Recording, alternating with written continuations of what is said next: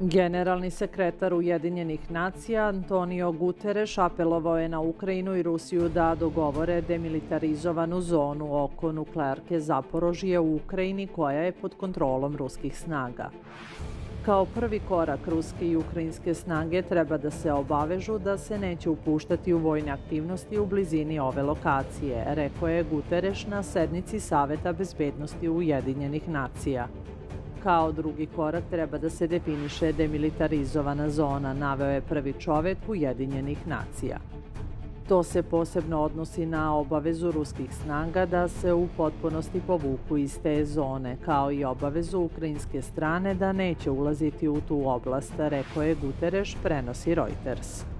Međunarodna agencija za atomsku energiju saopštila je ranije da je potrebno uspostaviti bezbednostnu zonu oko nuklearke, ističući da su njihovi stručnjaci pronašli velika oštećenja na nuklearki. Zapratite naš kanal i playlistu Balkanska hronika.